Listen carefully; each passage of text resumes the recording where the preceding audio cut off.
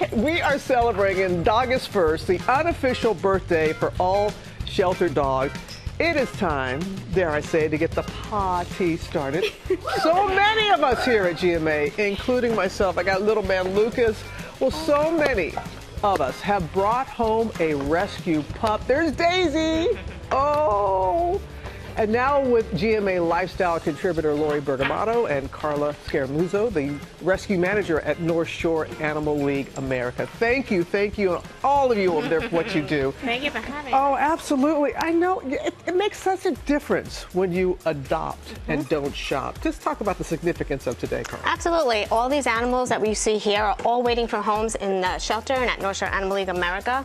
So we are celebrating August the 1st as Dogust the 1st. We mm-hmm. have August the 1st. And what we're doing is we're celebrating birthdays to shelter dogs in the shelters that we don't know when their mm-hmm. birthdays are. Have no idea. So we just dedicated this August the 1st as Great today. idea. We, I'm telling you, we got. I wish you had. Oh, okay. Oh, we got a little oh, present. okay. Little, little present being left for that us. opportunity to jump in. So, Okay, Carla, all my right family now. is thinking about getting a dog. I have three small kids.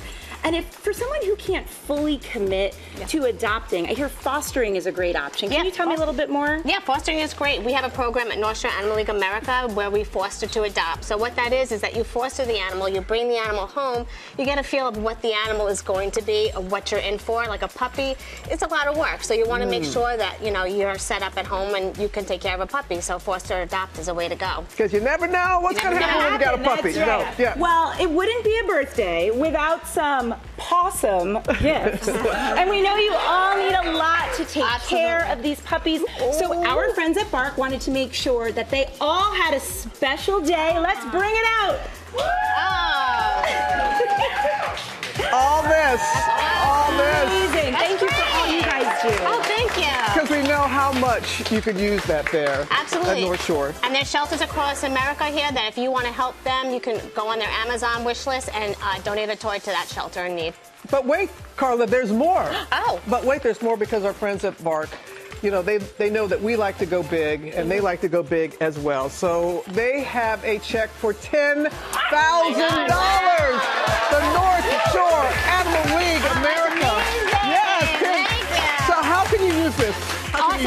can Awesome. you use That this? is going to be amazing. We can rescue more animals.